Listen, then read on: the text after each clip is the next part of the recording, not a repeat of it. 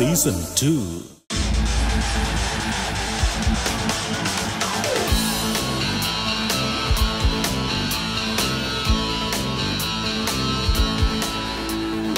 Imagination is more important than knowledge വിജ്ഞാനത്തിനേക്കാൾ കൂടുതൽ importance ഭാവനയ്ക്കാണ് എന്ന് പറഞ്ഞത് ആൽബർട്ട് ഐൻസ്റ്റീൻ ആണ്. അതിരുകളില്ലാത്ത ഭാവന തന്നെയാണ് കോമഡി സ്റ്റാർസ് എന്ന ഞങ്ങളുടെ ഈ ഒരു ഷോയുടെയും ഏറ്റവും വലിയ വിജയം. ഇന്നത്തെ കാഴ്ചകളുമായിട്ട് ഈ ഒരു അധ്യായം ആരംഭിക്കുകയാണ്. Welcome to comedy stars season two celebrity ഗസ്റ്റായി ഇന്ന് ഇവിടെ എത്തുന്നത് സ്റ്റേജിലൂടെ മിനി സ്ക്രീനിലൂടെ കടന്നു വന്ന് ബിഗ് സ്ക്രീനിൽ താരമായ ഒരു പ്രതിഭയാണ്. ലേഡീസ് ആൻഡ് ജെന്മൻ പ്ലീസ് വെൽക്കം ബിജു കുട്ടൻ.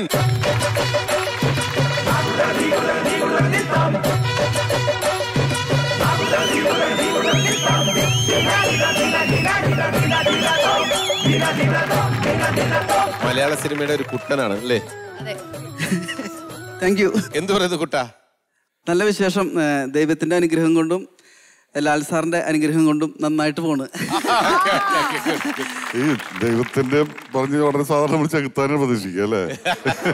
അതുപോലെ പറഞ്ഞു ദൈവത്തിന്റെ ജഗത്താന്റെ അങ്ങനല്ല അല്ലല്ല അങ്ങനെയല്ല രണ്ടുപേരും ദൈവത്തെ പോലെ ഞാൻ സ്നേഹിക്കുന്നതാണ്. കാരണം വേറെ ഒന്നല്ല ആ ഒരു പോത്തൻ ഭാവ എന്നൊരു സിനിമ ഇല്ലെങ്കിൽ പിന്നെ ഒരിക്കലും ഇങ്ങനെ ഒരു വേദിയിൽ ഇങ്ങനെ നിൽക്കാൻ എന്തായാലും പറ്റില്ല. മേജർ അല്ലെങ്കിൽ ബിഗ് ബ്രേക്ക് എന്ന് പറയുന്നത് കൊടുത്തത് തീർച്ചയായിട്ടും ലാലാണ് പോത്തൻ ബാവ എന്ന ചിത്രത്തിൽ.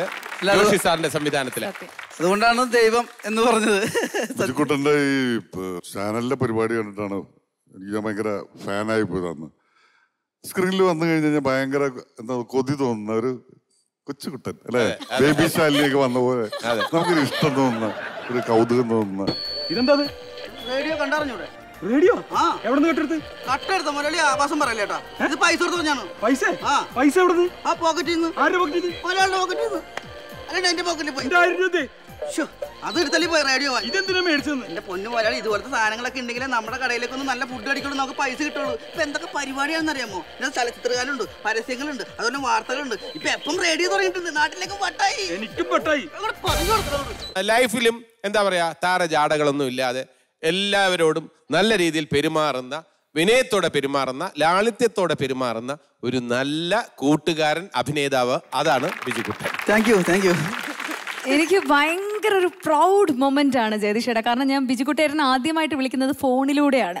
ഫൈവ് സ്റ്റാർ തട്ടുകട എന്ന പ്രോഗ്രാമിലൂടെ മലയാളികളുടെ മനസ്സിലേക്ക് ഇടിച്ചു കയറിയ ഒരാളാണ്. അത് നമ്മളുടെ ടീമിന്റെ തന്നെ പ്രൊഡക്ഷൻ ആയിരുന്നു. അപ്പം ബൈജു സാറിന് വേണ്ടിയിട്ട് ഒരു ബർത്ത്ഡേ വിഷ് ഒന്ന് എടുത്തു തരാനായിട്ട് പറഞ്ഞിട്ടുണ്ടായിരുന്നു. ഏട്ടൻ അത് എനിക്കോട് ഞാൻ ഫോൺ കട്ട് ചെയ്തു. വിത്തിൻ ഒരു രണ്ട് മിനിറ്റ് കഴിഞ്ഞപ്പോഴത്തേക്ക് എനിക്ക് ഒരു ഗംഭീരമായിട്ടുള്ളൊരു ബർത്ത്ഡേ വിഷ് എനിക്ക് അയച്ചു തന്നു. അതാണ് എന്റെ പേഴ്സണൽ ഓർമ്മ. പിന്നെ എനിക്ക് ചോദിക്കാനുള്ളത് ഇപ്പോൾ ധർമ്മജൻ ബിജുക്കുട്ടൻ ആ ഒരു ഭയങ്കര ഇവർ രണ്ടുപേരുമാണ് ഇന്ന് മലയാള സിനിമയിലെ ഏറ്റവും ഹിറ്റായിട്ടുള്ള രണ്ട് പേര് ഹാസ്യത്തിന്റെ കാര്യത്തിൽ. അപ്പോൾ പൊക്കം കുറവുകൊണ്ടാണോ? പൊക്കക്കുറവല്ല എന്തോ നിങ്ങൾ തമ്മിലൊരു സിമിലാരിറ്റീസ് ഒക്കെ തോന്നുന്നുണ്ട്. പൊക്കമില്ലായ്മയാണ് ബിജുവിന്റെ പൊക്കം. എന്നോട് ചോദിക്കാറുണ്ട് ധർമ്മനല്ലേന്ന് ധർമ്മനോട് ചോദിക്കാറുണ്ട് ബിജുക്കുട്ടനല്ലേന്ന് അങ്ങനെ മാറിപ്പോകുന്ന ഒരു സംഭവം ഉണ്ടായിരുന്നു മാറിപ്പോ ഇപ്പൊ സിനിമയിൽ വിളിക്കുമ്പോ കറക്റ്റ് ആയിട്ട് വിളിക്കാറുള്ളൂ. സിനിമയിൽ. മാറി പോകാറുണ്ടോ. അതല്ല അത് അവൻ എന്നെ കാണുമ്പോ മാറി പോകാറുണ്ട് എനിക്ക് പൈസ തരാനുണ്ട്. അയ്യോ. അല്ല എപ്പോഴെങ്കിലും ഏട്ടൻ ഈ ബിജുക്കുട്ടൻ എന്നൊരു പേര് മാറ്റിയിട്ട് കുറച്ചുകൂടെ ഒരു എന്തെങ്കിലും ഒരു പോഷ് ഉള്ള ഒരു പേര് വേണമെന്ന് എപ്പോഴെങ്കിലും ഒക്കെ മനസ്സിൽ ഫീൽ ചെയ്തിട്ടുണ്ടോ? കരഞ്ഞിട്ടുണ്ടോ മാറിയിരുന്നിട്ടൊക്കെ? ഇല്ലില്ല അയ്യോ എന്റെ ദൈവമേ സന്തോഷമല്ലേ ഉള്ളു? അല്ല എനിക്ക് പിന്നെ ബിജുക്കുട്ടേനെ കാണുമ്പോൾ നമുക്ക് ഇങ്ങനെ ഒരു ചക്കുട് വാവേനെയൊക്കെ പോലെ തോന്നുന്നോണ്ടേ. പെമ്പിള്ളേരൊക്കെ ഓടിച്ചെന്ന് സ്ത്രീകളൊക്കെ സംസാരിക്കുന്നത് നമ്മൾ കണ്ടിട്ടുണ്ട്. കാരണം ആൾ അപകടകാരിയല്ല. ചെറിയ വിഷമം എന്നാ വെച്ചാൽ എപ്പോഴും എല്ലാരും നിഷ്കളങ്കത ഓമനിക്കാൻ തോന്നുന്നു. എന്നെ കണ്ട വാവയെ പോലെ തോന്നുന്നു. അല്ലെങ്കിൽ ചെയ്യണില്ല. അല്ല ഇത് ഇത് എപ്പോഴും കേട്ട് കേട്ട് മടുത്തു തോന്നുന്നു അല്ലേ? ഞാനും ഒരു പുരുഷനല്ലേ? എന്താ എന്നോട് എല്ലാരും ഇങ്ങനെ ഇങ്ങനെ അല്ല അപ്പൊ ഒരു ചാൻസ് തരാം. നിങ്ങൾ രണ്ടുപേരും കൂടെ ഇവർ രണ്ടുപേരും കൂടെ ബിജുക്കുട്ടിനെ പ്രേമിക്കാൻ പോവാണ്. അപ്പൊ ബിജുക്കുട്ടൻ ബിജുക്കുട്ടൻ വെറുതെ അതിനനുസരിച്ചുള്ള മറുപടി പറഞ്ഞാൽ നിങ്ങൾ നിങ്ങളുടെ എങ്ങനെയാണെന്നുള്ള അങ്ങനെ നിങ്ങൾ പ്രേമിക്കുന്നതല്ല അതെ എന്ത് വേണം ആയിക്കോട്ടെ. സംസാരിച്ചോളൂ. ഞാൻ ബസ് എന്റെ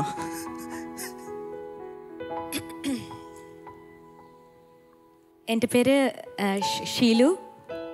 ഹലോ. നമസ്കാരം. ഓ ഓക്കെ ഏട്ടന്റെ പേര് ബിജു. ബിജു. യെസ് ഞാൻ ഈ കോളേജിലെ ഫസ്റ്റ് ഇയർ സ്റ്റുഡന്റ് ആണ്.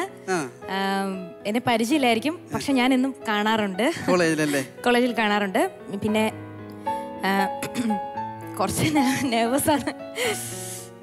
എന്റെ ഫാമിലിയെ പറ്റിയൊക്കെ തിരക്കുണ്ടെന്ന് തോന്നുന്നല്ലേ ഇല്ല തിരക്കില്ല. നമുക്ക് ഇച്ചിരി മാറി നിൽക്കാം ചായ കുടിച്ചിട്ട് നിൽക്കാം അങ്ങോട്ട് പോകണ്ട ചായ കുടിക്കാൻ പോകണ്ട.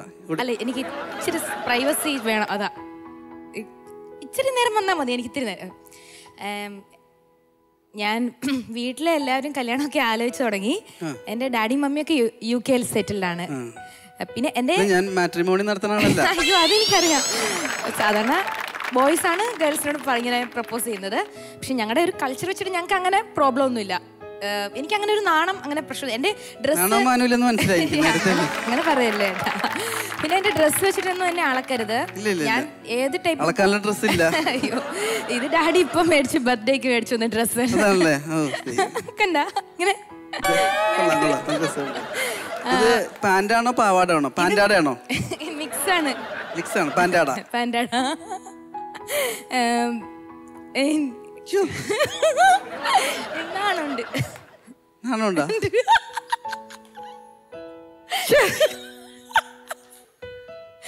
എന്താ ചേട്ടൻ പേടിക്കുന്നത് പെട്ടെന്ന് ഞാൻ കാര്യത്തിലോട്ട് കിടക്കാം. എന്നാണ് നമ്മുടെ കല്യാണം?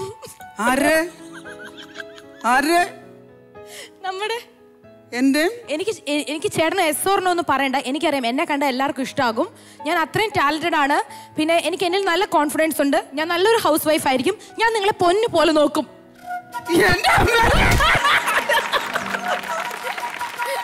ഓക്കെ. ഇത് ബോധം കെട്ടിരിക്കുകയാണ്. ആദ്യത്തെ പ്രേമത്തിൽ ബിജുക്കുട്ടൻ ബോധം കെട്ടു. ഇനി അടുത്തതിൽ എന്താണെന്ന് നോക്കാം. Ready please you are actually the Biju right ആ ആഹാ. Biju. How are you? Fine Can you just spare a second for me? Can you just spare one second? ഏ Can you just spare a second? ഇപ്പൊ കല്യാണം കഴിക്കാനാണോ പ്രേമിക്കാനാണോ എന്താണ് പറയണെന്നാവോ See, actually, my name is Lovely. Oh Lovely Lovely I'm just doing my second year over there in the Second? college, uh, St. Teresa's. സെന്തരാസ് Okay, okay, okay, okay. Okay, and I've been seeing you all over the place, in the cafe, right in the museum, all over the place. I'm seeing you. You're so much popular in yeah, the Uh, FB. well, My friends used to say your name, and uh, this is the first time I've... I love you, please. no, no, no, no. ഞാൻ കരുതി പ്രേമിക്കാനായിരിക്കും പറഞ്ഞ് വന്ന പെണ്ണാണെന്ന് കരുതി നേരത്തെ ഒടുക്കത്തെ മലയാളം പറഞ്ഞ് കെട്ടിപ്പിടിക്കാനും പ്രേമിക്കാനും കല്യാണം കഴിക്കാനും വേറൊരു പെണ്ണ് വന്ന് ഞാൻ കരുതി അതേ സെറ്റപ്പ് തന്നെ ആയിരിക്കും കരുതി നിങ്ങൾ വാ വിളിച്ചിട്ട് ഇംഗ്ലീഷ് മാത്രം You have a brother, right? Brother? You have a brother named Danis, right? Ah, right. I am in love with your brother. You have to go and tell your brother that I am in love, madly in love with him. Please, okay, please. Be like a mama and go and tell to your brother. Ah, please, please, no, please, please, will you please? What is this, please? Why you being so angry actually? ഈ പെണ്ണുമ്പിള്ള പിടിച്ചിൽ മോൻ ആരുമില്ലേ? Please No, no, no, no. Just listen. Just, I just want a date with him, actually. I just want a date with your brother. I just want a date. I just want a date. Biju. Shiva. ബിജുവിനെ പോലെ ഇരിക്കുന്ന ബിജുവിന്റെ ചേട്ടനെയാണ് പ്രേമിക്കുന്നത് അല്ലേ? അതെ. അത് മീര പിന്നെ ആൾ തെറ്റി എന്തിനാ വെറുതെ പാവങ്ങളെയൊക്കെ വിഷമിപ്പിക്കുന്നത് ആ ചേട്ടനാണെങ്കിൽ ഭയങ്കരമായിട്ട് ഇൻവോൾവ് ചെയ്ത് കോപ്പറേറ്റ് ചെയ്ത് ഡാൻസ് ചെയ്യുന്ന ഒരാളാണ്. അതാണ് നോക്കട്ടെ? ശരി ഇയാൾ അഭിനയിക്കാണ് ആരാണ് അഭിനയിക്കുന്നത് നോക്കട്ടെ. റെഡി സോങ് ഇളമറ്റ് திரும்புதே புரியாத புதிராச்சே. இதய துடிப்பிலே பனி காத்தும் சூடாச்சே. ஹே, துள்ளி குதிக்குது நெஞ்சம். தூக்கம் வரவில்லை கொஞ்சம். நாளை வரும் என அஞ்சும். மீண்டும் முதல் பருவம். கைகள் சீப்பை தேடுது தானே. கண்கள் உன்னை தேடுது மானே. நாட்கள் மெதுவாய் போகுது வீணே. மெல்ல தொடுதே காதலே கைகள் சீப்பை தேடுது தானே கண்கள் உன்னை தேடுது மானே நாட்கள் மெதுவாய் போகுது வீணே மெல்ல தொடுதே காதலே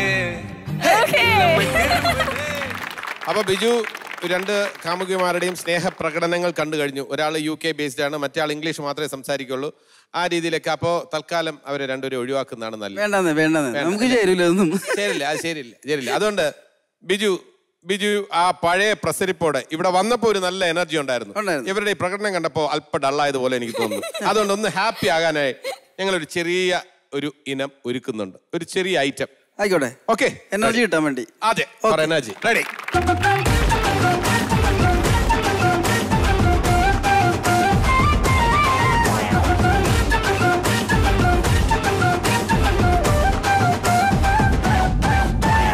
లాలా కడసాంది ఉన్నాలా నేనే నా బూంది లాలా కడసాంది ఉన్నాలా నేనే నా బూంది பாட்டா பளபளக்கிற பாலா வழிய வைக்கிற கீதா கிடிய வைக்கிற கிருக்கேதி கேட்டா கதையலைக்கிற கேப்பா என்ன வெடிக்கிற சீட்டா ஒதுங்கி நிக்கிற உசு பேட்டி லாலா கடை சாந்தி உன்னை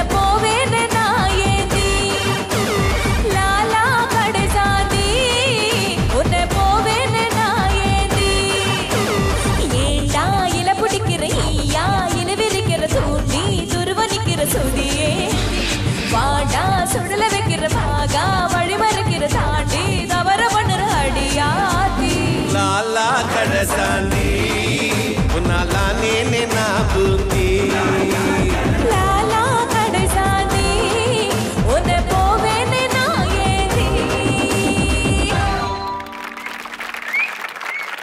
ഓഡിയൻസ് അവിടെ എത്തിയിട്ടുള്ളത് കൊട്ടാരക്കര വെട്ടിക്കവല പച്ചൂർ പ്രദേശത്തെ കുടുംബങ്ങളാണ് സ്വാഗതം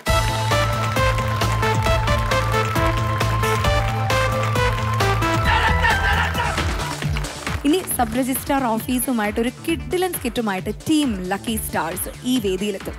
എങ്ങും പോയേക്കരുത് will be back after a very short break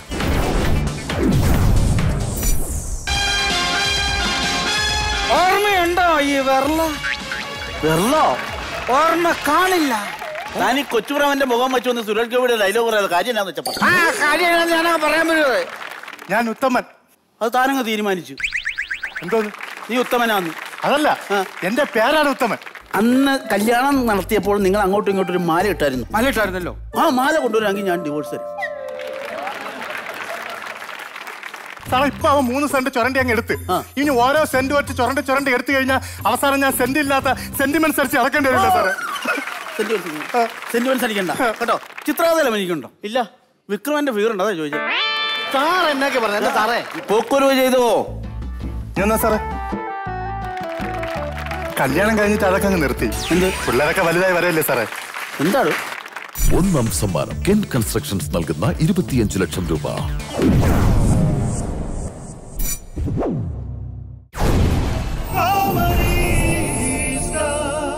കൈവശ അവകാശ സർട്ടിഫിക്കറ്റ് ബാധ്യതാ സർട്ടിഫിക്കറ്റ് ഇങ്ങനെയുള്ള കാര്യങ്ങളൊക്കെ തന്നെ നമ്മൾ കേൾക്കുന്നത് സബ് രജിസ്ട്രാർ ഓഫീസുകളിലാണ്. വീട് വസ്തു വിവാഹം പ്രമാണം അങ്ങനെ തുടങ്ങി എന്തെങ്കിലുമൊക്കെ ആവശ്യത്തിന് വേണ്ടി നമ്മൾ എല്ലാവരും ഒരിക്കലെങ്കിലും സബ് രജിസ്ട്രാർ ഓഫീസിനെ ആശ്രയിച്ചിട്ടുമുണ്ടാകും. ഇവിടെ ഇതാ ഓഫീസ് റൗണ്ടിൽ അങ്ങനെ ഒരു ഓഫീസ് കാഴ്ചയുമായിട്ട് എത്താൻ പോവുകയാണ് കോമഡി സ്റ്റാർ സീസൺ ടുവിന്റെ ഏറ്റവും കൂടുതൽ സൂപ്പർ നാച്ചുറൽ സ്കിറ്റുകളൊക്കെ തന്നെ സമ്മാനിച്ചിട്ടുള്ള ടീം ലക്കി സ്റ്റാർസ്. ചെക്കനും ടെൻഷൻ അടിച്ചു ചങ്കു പറിച്ചു ചേർന്നൊരു കല്യാണം. കൊടുക്കും ചൻസുകളെല്ലാം മാർപ്പ് വിളിച്ച് കൂടണ കല്യാണം തകിലടിയോ നിറപൊടിയോ മധുരവിടെ വിളിയലിയോ നമ്മുടെ ചെക്കന്റെ കല്യാണം കളറാണടാ നമ്മുടെ ചെക്കന്റെ കല്യാണം കിടുവാണടാ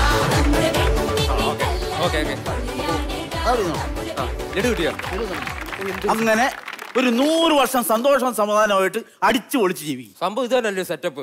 ഇതാകുമ്പോ അഞ്ചു പേരുണ്ടെങ്കിൽ കല്യാണം നടക്കും. മറ്റാണെങ്കിൽ എന്തൊക്കെയാണ്? വണ്ടി ബുക്ക് ചെയ്യണം നിശ്ചയം കല്യാണം സാരി. ഒയ്യോ പക്ഷെ ഒരു കാര്യമുണ്ട്. നീ വിളിക്കുമ്പോ കൂടെ വരാൻ ഒരു പെണ്ണും കൂടി വേണം. നല്ല ഇത് നടക്കുള്ള പരിപാടി. നല്ല ലഡു. സമ്മതിക്കില്ല ഈ ഞാൻ.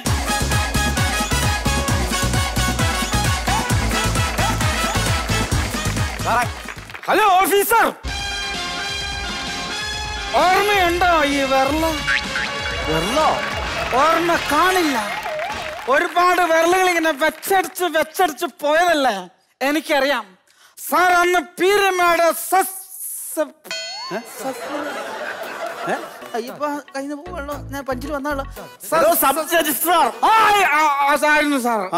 അപ്പൊ അന്ന് സാറ് ഇങ്ങനെ ഇപ്പൊ ഇവിടുന്ന് പറഞ്ഞു വിട്ട പോലെ ഒരു ബാല്യചാബല്യം നിർത്തിക്കേ. താൻ ഈ കൊച്ചുപ്രാമന്റെ മുഖം വെച്ചു വന്ന് സുരേഷ് ഗോപിയുടെ ഡയലോഗ് പറയാതെ കാര്യം എന്നാന്ന് വെച്ചപ്പോ ആ കാര്യം ഞാനാ പറയാൻ പറ്റുമോ? സാർ ഇപ്പൊ ഇവിടുന്ന് ഇറക്കി വിട്ടില്ലേ? അതുപോലെ ബാല്യക്ഷാബല്യം വിട്ടുമാറാത്ത ഒരു പയ്യനെ കല്യാണം കഴിച്ചു വിട്ടിട്ട് രണ്ട് കൈയെന്ന് പൊക്കി ഇങ്ങനെ അനുഗ്രഹിച്ചു. നൂറ് വർഷം ദീർഘായുസോടുകൂടെ ആ വാഴണമെന്നും ഒരു അച്ഛന്റെ സ്ഥലത്ത് നിന്നും ഞാൻ പറയുന്നതെന്ന് പറഞ്ഞില്ലേ? എടാ അത് ഞാൻ എല്ലാവരും പറയുന്നതാ. എന്നിട്ട് ഈ മക്കൾ എങ്ങനെയാ ജീവിച്ചെന്ന് ഈ അച്ഛൻ ഇതുവരെ തിരിഞ്ഞു നോക്കിയിട്ടുണ്ടോ? എടോ അത് ഞാനൊരു ആലങ്കാരികമായിട്ട് പറയുന്നതല്ലേ? അത് എന്റെ മാളയാണോ തനിക്ക് ഞാൻ കെട്ടിച്ചത്? ആലങ്കാരികമായിട്ട് പറയാൻ പറ്റിയ ഒരു സ്ഥാനമാണോ ഹേ അച്ഛന്റെത്? പിന്നെ തല്ല വിഷയം ആ ഞാൻ ഞങ്ങൾക്ക് ഒത്തുപോകാൻ പറ്റൂല. എനിക്ക് ഡൈവേഴ്സ് വേണം. ഡൈവേഴ്സ് വേണം. സാർ അന്ന് തന്ന സർട്ടിഫിക്കറ്റ് തരുന്ന സർട്ടിഫിക്കറ്റ് തരുന്ന എനിക്ക് ഡൈവേഴ്സ് വേണം. തനിക്ക് ഡൈവേഴ്സ് വേണം? ആ എനിക്ക് അവരുമായിട്ട് ഒത്തുപോകാൻ പറ്റൂല. ഡൈവേഴ്സ് വേണം. ഞങ്ങൾ രണ്ടു വഴിക്കായി എന്ത് ചെയ്യാനാന്ന് പറഞ്ഞു ആ വേഗം എടുത്ത വേഗം എടുത്ത. എന്ത്? ഡൈവേഴ്സ് എടുക്കുമല്ലേ ഞാൻ എന്റെ പേന നോക്കിയതാ. ആ പേനയല്ല സാറേ. എനിക്ക് എന്റെ കാര്യത്തിൽ തീരുമാനം ഉണ്ടാക്കണം. ഡൈവേഴ്സ് വേണം എനിക്ക്. എടോ തനിക്ക് ഡൈവോഴ്സ് വേണേ താൻ എന്നെ ചെയ്യണമെന്നറിയോ കോടതി കൊണ്ടുപോയി ഒരു പെറ്റീഷൻ കൊടുക്കും. അവരൊക്കെ അവിടെ ഉണ്ടോ? ആര്? പി ടി ഉഷയൊക്കെ പി ടി ഉഷ ഇപ്പൊ പറഞ്ഞില്ലേ P T Usha P T Usha ഡൈനിയുടെ കാര്യമാണോ ഞാൻ പറഞ്ഞത് പിന്നെ കോടതി കൊണ്ടുപോയി പെറ്റീഷൻ പരാതി കൊടുക്കാൻ. എനിക്ക് അങ്ങനെ കോടതിയിലൊന്നും പോകേണ്ട കാര്യമില്ല. ആ, കാരണം സാറാണ് എന്റെ കല്യാണം നടത്തി തന്നിട്ട് അച്ഛന്റെ സ്ഥാനത്ത് നിന്ന് ഞങ്ങൾ കൈ ചേർത്ത് പിടിച്ചു കിട്ടത് അപ്പൊ എനിക്ക് ഡൈവോഴ്സ് വേണം. ഞാൻ പറഞ്ഞ നൂറ് വർഷം സന്തോഷമായിട്ട് ജീവിക്കാനാണ്. ആ. എന്നാ തന്നെ കല്യാണം കണ്ടത് രണ്ടായിരത്തി പതിനഞ്ചിൽ. പതിനഞ്ചിൽ. ഇപ്പൊ നാല് വർഷമല്ലേ ആവുള്ളൂ നൂറ് വർഷം ആയില്ലല്ലോ. ഈ നാല് വർഷം കൊണ്ട് ഞാൻ നാനൂറ് വർഷത്തിന് അനുഭവിച്ചു. അതുകൊണ്ടാണ് വേണ്ടെന്ന് വെച്ചത്. തീരുമാനം ഉണ്ടാക്കും അല്ലെ ഞാൻ മറ്റേ ഞാൻ വിളിച്ചാൻ പറയും. എന്ത്? നിങ്ങൾ കേൾക്കണം കല്യാണം കഴിക്കാൻ വന്നിട്ട് ഒരു പൈസ ഇല്ലാത്ത ഞാൻ കൂട്ടുകാരോട് പൈസ മേടിച്ച് ഒരു പാക്കറ്റ് ലഡു മേടിച്ചോണ്ട് വന്നിട്ട് അതിന്റെ അകത്തുനിന്ന് മൂന്നെണ്ണം ഇങ്ങനെ യാതൊരു നാണമില്ലാത്ത എടോ കല്യാണം നടന്ന സന്തോഷത്തിന് ഞാൻ ലഡു തിന്നു. അതിനിപ്പോ എന്താ കുഴപ്പം? ഒരു സന്തോഷത്തിന് തിന്നാം. ഒന്നോ രണ്ടോ ആയിക്കോട്ടെ. മൂന്ന് ലഡു മാന്യതയാണോ ഒക്കെ? നിങ്ങൾക്ക് നാണമുണ്ടോ? ലജ്ജയുണ്ടോ മൂന്ന് ലഡു ഞാൻ തിന്നുപോയി. അതിന്റെ ലഡു തിരിച്ചു തന്നേക്കാം. തന്റെ ലഡു തന്നാൽ പ്രശ്നം തീരുമല്ലോ അങ്ങനെ എനിക്ക് കരക്കാരെ ലഡു ഒന്നും വേണ്ട. പിന്നെ? സാധാരണ എന്റെ കാര്യത്തിൽ എന്റെ ലഡുവിന് തീരുമാനം അല്ല എന്റെ കാര്യത്തിൽ തീരുമാനം ഉണ്ടാക്കുമെന്ന് പറഞ്ഞില്ലേ? എന്ത് തീരുമാനം ഉണ്ടാക്കണമെന്ന് പറ. ആ ഞാൻ ഞങ്ങളെ രണ്ട് വഴിക്കാക്കി വിടണം ഞങ്ങളെ. വീട്ടിൽ വണ്ടി ഉണ്ടോ എനിക്ക് സ്കൂട്ടറുണ്ട് അവർക്ക് ആക്റ്റീവ് ഉണ്ട്. എന്നാ താൻ രാവിലെ സ്കൂട്ടർ എടുത്ത് വൈഫിനെ ആക്റ്റീവിലും കയറ്റി ഒരു സൈ അങ്ങോട്ട് ഓടിച്ചു പോവുക. എന്നിട്ട് ജംഗ്ഷനിൽ ചെല്ലുമ്പോൾ താൻ വലത്തെ ഇൻഡിക്കേറ്റർ എടുത്ത് വലത്തേക്ക് പോവുക. വൈഫ് ഇടത്തെ ഇൻഡിക്കേറ്റർ എടുത്ത് ഇടത്തേക്ക് പോവുക. രണ്ട് വഴിക്ക് പോകും. മതിയോ സാറിനെ വിളിച്ചാക്കല്ലേ? സാറേ എന്റെ ലഡുവിന് ഒരു തീരുമാനം ഉണ്ടാക്കണല്ലേ ഞാൻ വിളിച്ചു താൻ എപ്പോഴും എപ്പോഴും ലഡുവും പെക്ക് പിടിച്ചിട്ട് പറഞ്ഞത് ആ എനിക്ക് എന്റെ ലഡു ഞാൻ പിടിക്കും. കാരണം എനിക്ക് വേദനയുണ്ട്. ഒരു പ്രയോജനം ഇല്ലാതെ നഷ്ടപ്പെട്ട ലഡു എന്റെ അതുകൊണ്ടാണ്. സാർ എന്റെ കാര്യത്തിൽ തീരുമാനം ഉണ്ടാക്കാം. അല്ലെങ്കിൽ ഞാൻ വേറെ പരിപാടി ഞാൻ ഉണ്ടാക്കും കേട്ടോ. ഇതെന്ത് ചെയ്യാനോ? ആ എനിക്ക് തീരുമാനം ഉണ്ടാവണം. അല്ലെങ്കിൽ എന്റെ ലഡു തിന്ന് നാണയില്ല. എന്റെ പൊന്നു സുഹൃത്തെ ലഡുവിന്റെ കാര്യം പറയല്ലേ? ആ എന്ന് വെച്ചാൽ തിന്നില്ലേ? നാണയില്ലാതെ കർമ്മ തിന്നപ്പോ ഉറങ്ങണായിരുന്നു ഞാനൊരു കാര്യം ചോദിക്കട്ടെ? ഡൈവോഴ്സ് ഞാൻ തന്നെ തരണമെന്ന് തനിക്ക് ഇത്ര നിർബന്ധം എന്താണ് അതെനിക്ക് ചില നിർബന്ധ ബുദ്ധിയുള്ള ആളാ. കടിച്ച പാമ്പിനെ കൊണ്ട് തന്നെ ഞാൻ വിഷം ഇറക്കിക്കും. അത്ര ബുദ്ധിയുള്ള ബ്രില്ലിലുള്ള ആളാ ഞാൻ ഞാൻ ഏത് നൂറ്റാണ്ടിലാണ് ചോദിക്കണത് ഇരുപത്തൊന്നാം നൂറ്റാണ്ടാണ്. അതിന്? കടിച്ചിട്ട് പാമ്പിനെ കൊണ്ട് വിഷം ഇറക്കാൻ പറ്റുമെങ്കിൽ വിഷരോഗ ആശുപത്രിയൊക്കെ വല്ല കാര്യമുണ്ടോ? തന്നെയുള്ള പാമ്പിനെ കടിച്ച പാമ്പാന്ന് എങ്ങനെ തിരിച്ചറിയൂടും? അതിന്? എല്ലാം ഒരു ഫിഗർ അല്ലേ? ഞാൻ വല്ല ഭർത്താവ് എന്റെ ലഡു തിന്നിട്ട് മാന്യമില്ലാതെ ഭർത്താവ് എന്റെ കാര്യത്തിന് തീരുമാനം ഉണ്ടാക്കണോ ഇത്. എന്റെ ലഡു തിന്നിട്ട് തനിക്ക് വന്നിടും. സാറേ. എന്ത് പറഞ്ഞാലോ ഇയാളൊന്നും ശരിയാക്കണം സാർ എന്തിനാ അവന്റെ മൂന്ന് ലഡു എടുത്ത് തിന്നാൻ പോയത്? അതിലെ വിഷയമായിരുന്നു താൻ ആ മൂന്നിൽ എടി കോരി പിടിക്കണം. പിന്നെ? പിന്നെ അങ്ങനെ കൂടെ ഒഴിവാക്കണം? എന്തെങ്കിലും ഒന്ന് പറയണോ ഇത് അലമ്പാണല്ലോ രാവിലെ അവന് ബോധമില്ല. ഇല്ലെങ്കിൽ ഇവിടെ വന്ന് അവനെ ഡിവോഴ്സ് വേണമെന്നൊക്കെ പറയോ? അത് ശരിയാ. വല്ല ബോധമുള്ള രജിസ്റ്റർ ഓഫീസ് വന്ന് divorce നമ്മുടെ ഈ. കയ്യിൽ ഒതുങ്ങാത്ത ചില കേസുകൾ വരുമ്പോൾ നമ്മൾ പറയത്തില്ലേ? മറ്റേ ആധാരം കൊണ്ടുപോവാ മറ്റേ കല്യാണം കഴിച്ചോ എന്നുള്ള ഒരു തീരുമാനം കൊണ്ടുപോവാ അങ്ങനെ പല്ല് ഡൗട്ട് അടിപ്പിച്ച് വിടുവല്ലോ. അതുപോലെ എന്തെങ്കിലും പറഞ്ഞു അവനെ അങ്ങ് പറഞ്ഞു വിടും. മുട്ടാന്യായം പറഞ്ഞ് നാളെ പറഞ്ഞു വിടും. ഹലോ? ലഡു തീച്ചക്കാരാ എന്റെ കാര്യത്തിന് വരെ തീരുമാനം നീ ആ ലഡു ഒന്ന് വിട്. അയ്യോ ബാബു ലഡു തിന്നേ നാട്ടുകാരെ അതെ സുഹൃത്തെ ഇവിടെ നിന്ന് ഡൈവോഴ്സ് തരാം. പക്ഷെ ഒരു പ്രശ്നമുണ്ട്. എന്ത് പ്രശ്നം? കൈവശാവകാശ സർട്ടിഫിക്കറ്റ് വേണം. അയ്യോ എനിക്ക് അതിലൊന്നും വലിയ വിശ്വാസമുള്ള ആളല്ല. ഒരു അമ്പലം ഉണ്ട്. അവിടെ ചെന്ന് കഴിഞ്ഞ് കഴിഞ്ഞ് കഴിഞ്ഞാൽ താഴെ എന്ന് പറയും അമ്പലത്തിന്റെ പേര്. അവിടെ ചെന്ന് കഴിഞ്ഞാൽ മരുന്ന് കുടിച്ചിട്ട് ഛർദ്ദിച്ച് കിടന്ന് സെറ്റപ്പ് ഉണ്ട്. അവിടെ ചെന്ന ഓക്കെ സംഭവം. എന്നത്? കൈവശത്തിന്റെ സെറ്റപ്പ് അല്ലേ? കൈവശോ? എടോ കൈവശ അവകാശ സർട്ടിഫിക്കറ്റ്. കൈവശ? അവകാശ സർട്ടിഫിക്കറ്റ്. കൈവശ സർട്ടിഫിക്കറ്റ് ഞാൻ എങ്ങനെ തന്നെ കയ്യിലാ സാറേ? എന്റെ കയ്യിലൊന്നും ഇല്ലല്ലോ ഒന്നും ഇല്ലാത്തവൻ എങ്ങനെ കയ്യിലുള്ളവരല്ല അവകാശം പറയാൻ പറ്റുള്ളൂ. അപ്പൊ സാറിന് വണ്ടിയുണ്ട് വീടിന് സ്വത്തുണ്ട് സാറിന് അവകാശങ്ങളുള്ള ആളാണ് എല്ലാം ഇതുണ്ട് സ്വത്തുണ്ട്. അപ്പൊ കൈവകാശം സാറിന് കിട്ടും. ഇപ്പൊ ഞാൻ ഞാനിപ്പോ അവകാശപ്പെടാനല്ല എനിക്ക് വല്ലതും പറ്റും. സാറിന്റെ പേന എന്റെ ആണെന്ന് ഞാൻ അങ്ങ് അവകാശപ്പെടുക സാറ് തരുമോ എന്റെ ഇപ്പൊ അപ്പൊ പിന്നെ എനിക്ക് എന്റെ കയ്യിൽ ഇല്ലല്ലോ. ഇല്ലാത്ത ഞാൻ എങ്ങനെ കൈവാസം തരുന്നു പറ. ഇത് എന്നാ മണ്ട ഒന്നുമില്ല ഒന്നുമില്ല. സാറേ സാറേ ഇയാളെന്തോ ബാധ്യത സർട്ടിഫിക്കറ്റ് ഉണ്ടോ എന്ന് അതിലെങ്കിലും വീഴ്ത്തിക്കോണം കൈവശം വേണ്ട കൈവശം തന്റെ ഒന്നും ഇല്ലെങ്കിൽ ആ സർട്ടിഫിക്കറ്റ് കിട്ടിയാൽ അത് വേണ്ട. അതെനിക്കറിയാം. പക്ഷെ ബാധ്യത വേണം. ഉള്ളത് പറയാലോ. ആ രായപ്പൻ ചേട്ടന്റെ കടയിൽ ബീഡി മേടിച്ചൊരു പത്ത് രൂപ ഉണ്ട് അത് ഇന്നലെ കൊടുത്തു. ആ ബാധ്യതയും തീർന്നു. എനിക്കൊരു ബാധ്യത ഇല്ലാത്ത ആളാണ്. അതുകൊണ്ട് ഞാൻ എന്നെ സാറിനിപ്പോ സാറിന് ഇപ്പൊ കാറിന്റെ ലോൺ വീടിന്റെ ലോൺ അങ്ങനെ സാറിന് ബാധ്യത ഇല്ലേ എനിക്ക് ബാധ്യത അപ്പൊ ബാധ്യത ശരിക്കും ബാധ്യത സർട്ടിഫിക്കറ്റ് സാറിന് സാറിന് അർഹതപ്പെട്ടാണ് എനിക്ക് ബാധ്യതയില്ല. ഞാൻ പിന്നെ ആ പാടെ ഉണ്ടാകുന്ന ഒരു പെണ്ണുമ്പിന്റെ ബാധ്യത. അതിനെ ഒഴിവാക്കാനാണല്ലോ വന്നേക്കണേ. എനിക്ക് ബാധ്യത ഇവൻ നമുക്കൊരു ബാധ്യത ആകൂലോ സാറ് കാര്യം പൊസിഷൻ സർട്ടിഫിക്കറ്റ് അതാവുമ്പോ അവൻ ഈ ബാധ്യതയും കൈവശാസവും വേണമെന്നില്ല. ഞാൻ ചുമ്മാ ഉണ്ടെങ്കിൽ കിട്ടിക്കോട്ടെ എന്ന് വെച്ച് പറഞ്ഞത് ഇപ്പൊ ഞങ്ങളെ ജനങ്ങളെ വെറുതെ നടത്താൻ വേണ്ടി പറയണത് എനിക്ക് മനസ്സിലായത് അങ്ങനെയുണ്ട്. അതെ ഈ പൊസിഷൻ സർട്ടിഫിക്കറ്റ് കിട്ടുകയാണെങ്കിൽ ഓക്കെ ഞാൻ ഡൈവേഴ്സ് തരാം. എന്നാ മെനകെട്ട വർത്താനാ സാറേ സാറി പറഞ്ഞേ? പത്താം ക്ലാസ് ജയിക്കാതെ പൊക്കോ ഇല്ലാതെ തേരാ പാരം നടക്കുന്ന ഞാൻ എനിക്ക് എന്ത് പൊസിഷൻ സാർ ഇപ്പൊ ഈ കസേര ഇരിക്കുന്നു. സാറിന് ഒരു പൊസിഷൻ ഉണ്ട്. സാറിന് അതിന് ആളാണ്. മുഖ്യമന്ത്രി അവിടെ ഇരിക്കുന്നു. ആ അങ്ങാർക്ക് ഒരു പൊസിഷൻ ഉണ്ട്. ജഗദീഷ് സാർ അവിടെ ഇരിക്കുന്നു. അതൊരു പൊസിഷനാണ് ഞാൻ ഈ തെരപ്പറ നടക്കുന്ന തെണ്ടിയായിട്ട് നടക്കുന്ന എനിക്ക് എന്നാ പൊസിഷൻ ആര് തരും സർട്ടിഫിക്കറ്റ്? കിട്ടൂല. എന്റെ എന്റെ ലഡു എന്റെ ലഡു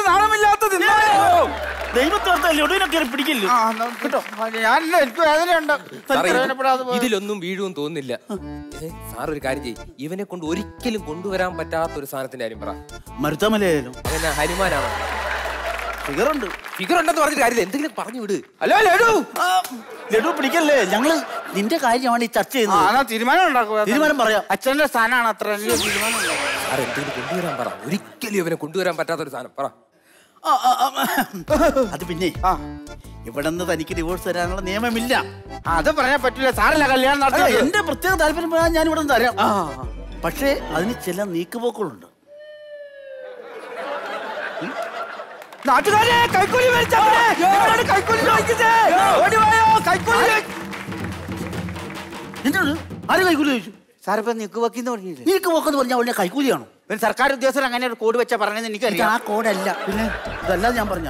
ചില നടപടിക്രമങ്ങളുണ്ട് ചില സംഭവങ്ങൾ നമ്മൾ ഓഫീസിൽ ഹാജരാക്കണം. എന്നാലേ ഡിവോഴ്സ് തരാൻ പറ്റത്തുള്ളൂ. അതിന് എന്നെ ഹാജരാക്കണ്ടെന്ന് പറ. അന്ന് കല്യാണം നടത്തിയപ്പോൾ നിങ്ങൾ അങ്ങോട്ടും ഇങ്ങോട്ടും ഒരു മാല ഇട്ടായിരുന്നു. മാല ഇട്ടായിരുന്നല്ലോ ആ മാല കൊണ്ടുവരാമെങ്കിൽ ഞാൻ ഡിവോഴ്സ് തരാം.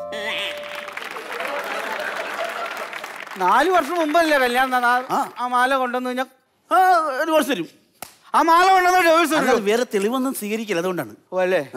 എന്നാലും രജിസ്റ്റർ ഓഫീസിൽ നിന്ന് ഡിവോഴ്സ് തന്നെങ്കിൽ അന്നത്തെ മാല വേണം. മാല വേണം. പുതിയ നിയമം അങ്ങനെയാണ്. കേട്ടോ?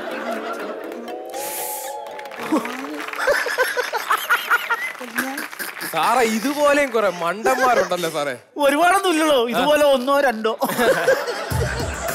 മാലയും കൊണ്ടുവരും എവിടെ എത്തി എവിടെ എത്തി പെട്ടെന്ന് വാ സമയം ഒരുപാടായെന്ന്. ആ രണ്ട് കൂട്ടുകാരന്മാരെ അങ്ങോട്ട് വിട്ടായിരുന്നു. പെട്ട പെട്ടെന്നേ. വന്നോ? ഇല്ല പകുതി ആയതേ ഉള്ളൂ. ആണോ? വരുമല്ലോ അല്ലേ? വരും വരും വരും. ഇവിടെ അധികം നിൽക്കണ്ട അകത്ത് കയറിയിരുന്നു. റൂമിലിരുന്നു. കേട്ടോ? പെണ്ണ് വരുമ്പോ ഞാൻ ഇങ്ങോട്ട് വിളിക്കാം. വിളിക്കണം സാർ പെണ്ണ് വരുമല്ലോ? വരും വരും വരും. ബാക്കിയെല്ലാം എഴുതി വെച്ചേക്കാം. ഓക്കെ അകത്ത് കയറിയിരുന്നു. സാറേ എന്ത് സംഭവം? അതെ. അകത്തോട്ട് വിട്ടേ. അവന്റെ രജിസ്റ്റർ മാരേജ് നമ്മൾ ഇന്നോട് നടത്താൻ പോവാ. ആ. പെണ്ണിന്റെ വീട്ടുകാർ ഇച്ചിരി ഹൈ സെറ്റപ്പിലാണ്. അത്യാവശ്യം സാമ്പത്തികവും രാഷ്ട്രീയ സ്വാധീനമൊക്കെ ഉള്ള ആൾക്കാരാണ് അവരിവനെ അവർ ഇവനെ കണ്ടാ കൊല്ലാൻ നടക്കുക അപ്പൊ ഇവിടെ വന്നൊരു പ്രശ്നം ഉണ്ടാക്കണ്ടല്ലോ. അവനോട് നോട്ടെ പെണ്ണ് വരുമ്പോൾ നമുക്ക് സംഭവം നടത്തി സാറേ? പിന്നല്ല.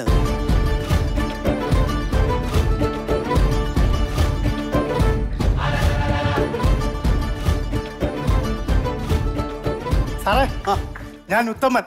അത് താനങ്ങ് തീരുമാനിച്ചു. എന്തോ നീ ഉത്തമനാന്ന്. അതല്ല എന്റെ പേരാണ് ഉത്തമൻ. അതിൽ വലിയ കാര്യമൊന്നുമില്ല. പിന്നെ? ദേ, അത് എന്റെ കസേര ദേ, ചുമ്മാ ഇരുടാ. ഇരി ഇരി സാറ് ഇരി?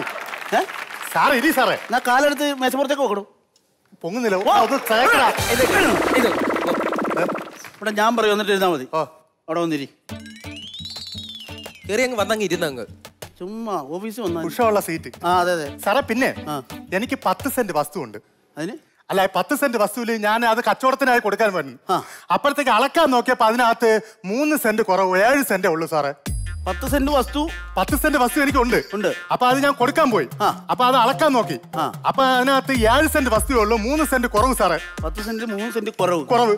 അതെങ്ങനെ വരും? അല്ല അപ്പുറത്ത് അവൻ പിടിച്ചെടുത്തേക്കാണ് മാന്തി മാന്തി എടുത്തേക്കുന്നതാണ്. അയലോക്കാരൻ അയലോക്കാരൻ എടോ അങ്ങനെയുള്ള തർക്കത്തിനാണ് ഇവിടെ അല്ല പോലീസ് സ്റ്റേഷനിൽ പരാതി കൊടുക്കണം. അയ്യോ ഞാൻ പോലീസ് സ്റ്റേഷനിൽ ചെന്ന്. അപ്പൊ അവർ പറഞ്ഞ് മുന്നാധാരം എടുക്കണം അത് ഇവിടെ ഒന്ന് പറയാൻ പറഞ്ഞു. അങ്ങനെയാണ് സാറേ വന്നത്. മുന്നാധാരം എടുക്കണം ഇവിടെ വരണം. ഇവിടെ വരണം. പിന്നെ മാത്രമല്ല അപ്പുറത്തുകാരൻ ഉണ്ടല്ലോ അവിടുത്തെ ആ പെണ്ണുമായിട്ട് ഞാൻ ചെറിയ ഒരു ലൈൻ ഉണ്ടായിരുന്നു. ചെറിയ പ്രേമത്തിലായിരുന്നു. അപ്പോഴേ അവൾ കെട്ടാൻ വേണ്ടി ഞാൻ ചെന്ന് ചോദിച്ചപ്പോ അവൾ ഒരു തെറ്റായ ഒരു തീരുമാനം എടുത്ത് എന്ത്? അവൾ പറഞ്ഞു എനിക്ക് നിങ്ങളെ വേണ്ട. വേറെ ഒരുത്ത എന്നെ കെട്ടു എന്ന് പറഞ്ഞു അങ്ങനെ അവൻ ഇപ്പൊ അവിടെ കൂടെ ഉണ്ട്. നാണമില്ലാത്തവൻ അച്ഛൻ വീട്ടിൽ വന്ന് ഇറന്ന് താമസിക്കുന്നു. ഇവൻ ചാണ്ടി എടുത്തതാണ് എന്റെ മൂന്ന് സെന്റ് സാറേ. ആണല്ലേ? പിന്നല്ലാതെ. അത് ശരി. അത് വരട്ടെ. എന്തെങ്കിലും ഒരു ഒരു വഴി ഉണ്ടാക്കി തരണം. എന്റെ പെണ്ണെ പോയി. എന്റെ മൂന്ന് സെന്റും പോയി. ഇവൻ ചുരണ്ടി ചുരണ്ടി എടുത്തത് എന്റെ മൂന്ന് സെന്റും പോയി സാറേ. ഇതെനിക്ക് ഉണ്ട് എനിക്ക് തിരിച്ചു മേടിച്ചു തരണം. എടോ തന്റെ വസ്തു പോയെങ്കിൽ മൂന്ന് സെന്റ് വസ്തു പോയെങ്കിൽ അത് തിരിച്ചു പിടിക്കാനുള്ള പരിപാടി ഞാൻ ചെയ്തു തരാം. പക്ഷെ പെണ്ണ് പോയതിന് എനിക്കൊന്നും ചെയ്യാൻ പറ്റത്തില്ല. നിസ്സഹായനാണ്. ഇവിടെ വകുപ്പില്ല ഇനി. പിന്നെ അവൾ ഉപേക്ഷിച്ച് ഡൈവോഴ്സ് ആയി. താൻ തുറ്റിക്കറക്കി ഇവിടെ. എന്റെ കളത്തിൽ കിട്ടിക്കഴിഞ്ഞാൽ ഞാൻ രജിസ്റ്റർ ചെയ്ത് തരാം. സാറേ പെണ്ണ് വാങ്ങി പോട്ട്.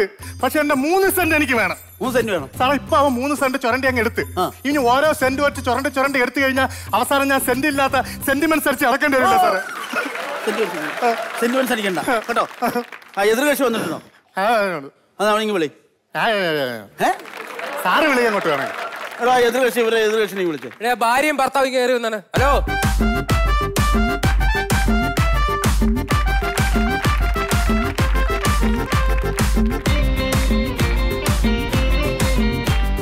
നമസ്കാരം സാറേ. ഇതാണോ എതിർകക്ഷി ഓ ഇത് തന്നെ.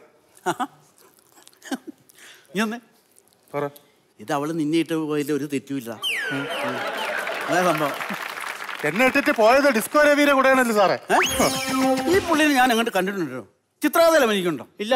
വിക്രമന്റെ വീറുണ്ട് അതാ ചോദിച്ചത് സാർ എന്നൊക്കെ പറഞ്ഞു സാറേ ഞങ്ങൾക്കെതിരെ കള്ളപ്പരാതി കൊടുത്തിരുന്ന ഒരാളാണിത്. അല്ലല്ല പുള്ളി പറഞ്ഞ കാര്യമുണ്ട്. നിങ്ങൾ അടുത്തടുത്ത് താമസക്കാരാണോ? അതെ അതെ. നിങ്ങൾക്ക് എത്ര സെന്റ് സ്ഥലമുണ്ട്? സാർ ഞങ്ങൾക്ക് പത്ത് സെന്റ് സ്ഥലമുണ്ട്. പത്ത് സെന്റ് സ്ഥലം. അതുപോലെ പത്ത് സെന്റ് എനിക്കുണ്ട് അതിലാണ് ഇപ്പം ഏഴ് സെന്റ് ഉള്ളു. മൂന്ന് സെന്റ് കാണാനില്ല സാറേ. ആ മൂന്ന് സെന്റ് നിങ്ങൾ എടുത്തെന്നുള്ളതാണ് അവന്റെ പരാതി. എന്റെ സാറേ ഞങ്ങൾ മൂന്ന് സെന്റ് എടുത്തില്ല സാറേ. ഞങ്ങൾക്ക് വെറുതെ കള്ളപ്പരാതി പോലീസ് സ്റ്റേഷനിൽ പറഞ്ഞ് ഞങ്ങളെ കയറ്റി ഇറക്കണമാണ് ഇവൻ? ഞങ്ങൾക്ക് ഇവന്റെ ഇവന്റെ മൂന്ന് സെന്റ് ഞങ്ങൾ അവൻ ആവശ്യമുള്ളത് വേണമെങ്കിൽ അവനെടുത്തോട്ടെ ആവശ്യമില്ലെങ്കിൽ ഇന്ന് താ, എനിക്ക് ആവശ്യമുള്ള എന്റെ മൂന്ന് സെന്റ്. എന്ത് മൂന്ന് സെന്റ്? ഞങ്ങൾ നിങ്ങൾ മൂന്ന് സെന്റ് എടുത്തോടൊന്നുമില്ല ഞങ്ങൾ ആവശ്യമുള്ള സ്വത്ത് മാത്രമേ ഞങ്ങളുടെ ഉള്ളൂ. ഏ, ഏ, വെള്ളം ഉണ്ടാക്കാം വെള്ളം ഉണ്ടാക്കാം. ഇത് തീരുമാനമാക്കാനല്ലേ തീരുമാനമാക്കാം. ഞാൻ തീരുമാനം ഉണ്ടാക്കി തരാം.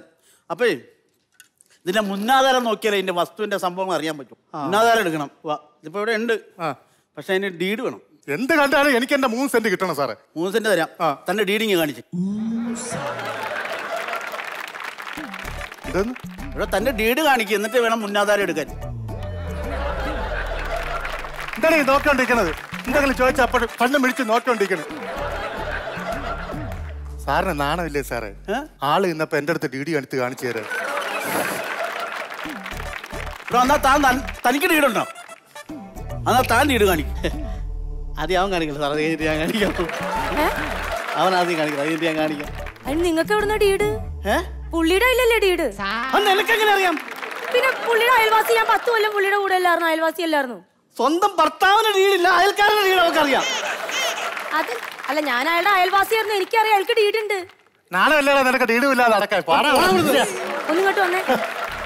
ഇനിയിപ്പോ നിങ്ങൾക്ക് സ്വന്തമായിട്ട് ഡീഡ് ഉണ്ടെങ്കിലും അതിനിവിടെ ഒരു വിലയില്ല പുള്ളിയുടെ ഡീഡിനാ വില. ദൈവമേ ഭർത്താവിന്റെ ഡീഡിന് ഒരു വിലയില്ല. അയൽക്കാരന്റെ ഡീഡിന് വില. ഇത് ഞാൻ അവിടെ പോയി പോയ ചാവടാ. കേട്ടോ താനാ ഡീഡിൽ നിങ്ങൾ മേശപ്പുറത്തേക്ക് വെച്ചേ. ഞാനിത് പരിശോധിക്കട്ടെ. ആ എടുക്കട്ടെ. സാർ ആദ്യം പറഞ്ഞ് കാണിച്ചാൽ ഇപ്പൊ മേശപ്പുറത്ത് വെക്കണോ സാറ്? വൈകുന്നേരം ഞാൻ വീട്ടിൽ കൊണ്ടുവന്ന് കാണിച്ചാൽ മതിയാ. ഡീഡ് പിന്നെ നിന്റെ ഡീഡ് കാണാൻ ഞാൻ വൈകുന്നേരം വിളക്ക് കത്തിച്ചിരിക്കാൻ പോകില്ല എടോ ആ ഡീലിംഗ് ഉണ്ട് അതിൽ നമ്പർ ഉണ്ട്. അത് നോക്കിയിട്ട് വേണം മുന്നാധാരം എടുക്കാൻ. ഡീലിംഗ് നമ്പറൊക്കെ ഉണ്ട്. ആ ഉണ്ട്. ഈ പണിക്ക് വന്നോണ്ട് അതൊന്നും ശ്രദ്ധിക്കാറില്ലായിരുന്നു. ആ ശ്രദ്ധി- സാറേ പുള്ളിയുടെ ഡീഡിന് നമ്പർ ഉണ്ട്. എനിക്കറിയാം. എല്ലാ ഡീഡിനും നമ്പർ ഉണ്ട്. നമ്പർ ഉണ്ട്. ഡീഡുള്ളത് നിങ്ങൾക്ക് കാണിക്ക്. സാറേ ഇത് എന്റെ ഡീഡ് കണ്ടോ.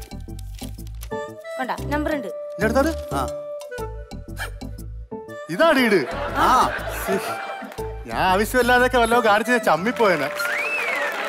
അപ്പൊ ഈ നമ്പർ വെച്ചിട്ട് വേണം നമുക്ക് ഇത് കണ്ടുപിടിക്കാം കണ്ടോ? ഇതിന് മുകളിലെ നമ്പർ ഇവിടെ ഉണ്ടോ? കണ്ടോ? എടോ. സാർ സാർ ദേ, ഇത് നോക്കി. മുന്നാധാരം എടുത്തിട്ടോ അപ്പം മൊത്തം എത്ര? ഇരുപത് സെന്റ് സ്ഥലം. ഇരുപത് സെന്റ് സ്ഥലം. അത് രണ്ടായിട്ട്. രണ്ടായിട്ട്. സാറേ പത്ത് സെന്റ് ഞങ്ങൾക്ക് പത്ത് സെന്റ് അയാളുടെ ഞങ്ങളെ പത്ത് സെന്റേ ഉള്ളൂ. അപ്പൊ ആകെ ഇരുപത്. ആകെ ഇരുപത് സെന്റ് സ്ഥലം. ഇരുപതിൽ നിന്ന് നിങ്ങൾക്ക് പത്ത്. ഞങ്ങൾക്ക് പത്ത്. അല്ലേ? പത്ത് നിങ്ങൾക്ക്. ഇത് പത്താണോ പത്ത്? പത്തില്ല സാറേ ഏഴേ ഉള്ളൂ. ആ ഏഴ് അപ്പം മൂന്ന് ഇല്ല. ആ. അല്ലേ? ഏഴ്. പത്തും ഏഴും പതിനേഴും മൂന്നും ഇരുപത്. അതെ അപ്പൊ ഈ മൂന്നാണ് തർക്കത്തിൽ കിടന്നത് കാണാതെ പോയ വസ്തു. ബാലൻസ് ഉണ്ടായിരുന്ന മൂന്ന് സാറാണ് അപ്പോഴും മിഴുങ്ങിയത് അല്ല. അല്ല അല്ല എഴുങ്ങിക്കൊണ്ടു എഴുങ്ങിക്കൊണ്ടു തെറ്റിക്കല്ലേ തെറ്റിക്കല്ലേ?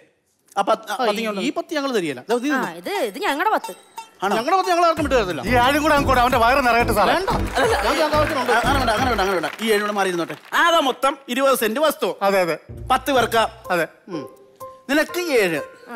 ആണോ? അതെ. അപ്പൊ ഈ മൂന്നാണ് തർക്കത്തിൽ കിടക്കുന്നത്. അതെ. അതായത് കാണാതെ പോയത്. പിന്നെ മൂന്ന് സെന്റ്. ഇത് തന്നെ ഈ മൂന്ന് സെന്റ് കണ്ടുപിടിക്കണമെങ്കിൽ നമ്മൾ ആ ഡീഡ് അനുസരിച്ച് മുന്നാധാരം എടുത്ത് ആധാരം പരിശോധിച്ച് വരുമ്പോൾ ഈ കാണാതെ പോയ ഈ മൂന്ന് താൻ എന്ത് പണിയാണ് കളിച്ചു തർക്കത്തിൽ കിടന്ന മൂന്നെടുത്തു നിന്നു. ഈ പൊരുവയിലത്ത് നടന്നുപോയി അലമാരയിൽ ഉറങ്ങി കിടന്ന നാപ്പത് സെന്റിനെ തട്ടി ഉണർത്തി ഇവിടെ കൊണ്ടുവരാങ്കിലേ ഈ മൂന്ന് സെന്റും ഈ കിണറും എനിക്ക് അവകാശപ്പെട്ടതാ. ആഹാ. അത് കൊള്ളാലോ? ആ ഇതാണ് കണ്ടോ അടിയുടെ നമ്പർ വെച്ചിട്ട്. ഇതാണ് സംഭവം. കണ്ടോ? സാർ എങ്ങനെയെങ്കിലും എന്റെ മൂന്ന് സെന്റ് തരണം. ഉത്തമനല്ലേ? ഉത്തമനം പോക്കുരവ് ചെയ്തോ? എന്താ സാറേ? പോക്കുരവ് ചെയ്തോ? എന്നാ സാറേ? അവിടെ ഇരുന്ന് പറയാൻ പറ്റില്ല കല്യാണം കഴിഞ്ഞിട്ട് അതൊക്കെ അങ്ങ് നിർത്തി. പിള്ളേരൊക്കെ വലുതായി വരല്ലേ സാറേ? എന്താണ്? സാർ അവളെ വീട്ടിൽ പോക്കുവരുണ്ടെന്നല്ലേ ചോദിച്ചത് രാത്രി വേലിയാടി അങ്ങോട്ടും ഇങ്ങോട്ടും പോയ കാര്യമല്ലേ ചോദിച്ചത്? പിന്നെ? പ്രമാണം പോക്കുവരത്ത് ചെയ്തോന്നാ ചോദിച്ചത്. അയ്യോ അതായിരുന്നു അതോട്ട് സാറേ. എന്ത് ചെയ്യാനാന്ന് പറഞ്ഞു ഈ എലിക പിടിച്ചാണോ വളർന്നേ? അപ്പൊ അത് പഴയ പോലെ അത് ആദ്യം പിടിക്കാറുണ്ടായിരുന്നു ഇപ്പൊ പിടിക്കാൻ കിട്ടാറില്ല. ഇപ്പൊ നമ്മൾ വിഷം വെക്കുക അത് പെട്ടിക്കകത്ത് കേറുന്നില്ല. ഈ പഴയ പോലെയല്ല തന്ത്രശാലികളായി പോയി എന്നതാണ് എലി. എലി എലി പിടിക്കാരിയല്ലേ പറഞ്ഞു എലിയെ പിടിക്കുന്ന കാര്യമാണോ ഞാൻ പറഞ്ഞു പിന്നെ? എടാ എലിക പിടിച്ചാണോ വസ്തു എന്ന് അളന്നെന്നാ ചോദിച്ചേ? അതിർത്തി. അതിർത്തി, അത് പിടിച്ചാണോ. ഞാൻ വായിച്ചു കൊണ്ട് ആയിരത്തി തൊള്ളായിരത്തി അമ്പത്തി ആറാം ആണ്ട് ആയിരത്തി തൊള്ളായിരത്തി അമ്പത്തി ആറാം ആണ്ട് വൃത്തിമാസം പതിനേഴാം തീയതി കുട്ടച്ചാങ്കുഴിയിൽ തെക്കേ മുറിയിൽ ദിവാകരൻ തന്നിഷ്ടപ്രകാരം മകൾക്ക് പ്രഭാവതിക്ക് പേർക്ക് പാറപ്പുറത്ത് അവർ പേർക്ക് എഴുതി കൊടുത്ത സർവേ നമ്പർ മുപ്പത്തിയൊന്ന് ബാർ അഞ്ച് ആർ എ അതെ ഇപ്പൊ മൊത്തത്തിലുള്ള കിടപ്പ് എങ്ങനെയാണ്? പണ്ട് നമ്മൾ ഒരുമിച്ചായിരുന്നു കിടന്നത്. നമ്മൾ ഇരുപത് സെന്റ് പറയും. ഇരുപത് സെന്റ് ഒരുമിച്ചല്ലേ കിടന്നത്? ആ സ്ഥലം. അതെ. ആ സ്ഥലം ഒരുമിച്ച സാറേ കിടന്നത്. അതാ പോയ സ്ഥലത്തിന്റെ തലൊന്ന് ചേർത്ത് ഇവിടെ ഇടിവെക്കാൻ മേലതാ കേട്ടോ? ഇരുപത് സെന്റ് ഒരുമിച്ചാണ് കിടന്നത്. പത്ത് അങ്ങോട്ട് പോയപ്പോ പത്ത് പത്ത് എനിക്ക് വന്നു. അതെ എന്റെ വേറെ കാര്യമുണ്ടല്ലോ. ഇതിൽ റോഡ് കാണിക്കുന്നുണ്ടല്ലോ റോഡ്. റോഡ് ഉണ്ടായിരുന്നു ആ റോഡ്. ഈ ഇരുപത് സെന്റ് നമ്മൾ ഒരുമിച്ചായിരുന്നല്ലോ. അപ്പോഴും ഞാൻ അന്ന് ഞാൻ പറഞ്ഞല്ലോ സ്നേഹത്തിലായിരുന്നു.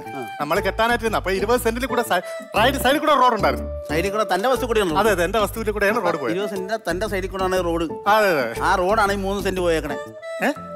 എടോ തന്റെ റോഡ് കൊടുത്തില്ലേ താൻ? റോഡിന് സ്ഥലം കൊടുത്തോ മൂന്ന് സെന്റ്?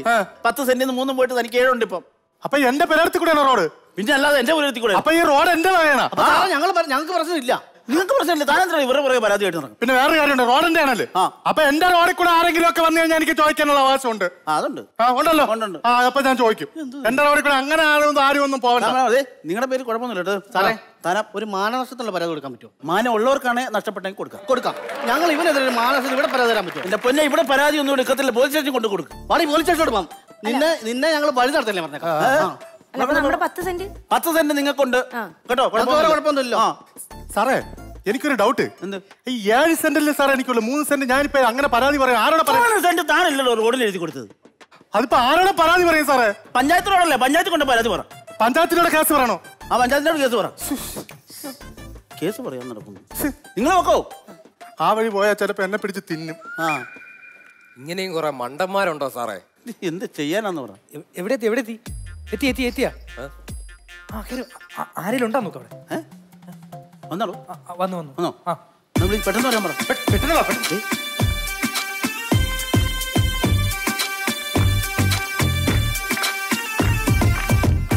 ആരെങ്കിലും കണ്ടു? ആരും കണ്ടിട്ടില്ല. എങ്ങനെയാ വന്ന? വീട്ടിൽ ചാടി. കൂട്ടുകാരുടെ വീട്ടിൽ പോകണമെന്ന് പറഞ്ഞിട്ടാ വന്നേ. പെട്ടെന്ന് വാ, പെട്ടെന്ന് വാ. ആ ഓക്കെ. വൈപ്പറോ അതെ സമ്മതമല്ലോ ഇവനെ ഇവിടെ ജീവിക്കാനായിട്ട്. ആലോചിച്ചിട്ടല്ലേ തീരുമാനിച്ചത്? ആലോചിച്ചിട്ട് തന്നെ ആ എന്നാ ശരി ദേ രണ്ടുപേരും ഇവിടെ ഒപ്പിട്ടു. വിട്ടു വിട്ടു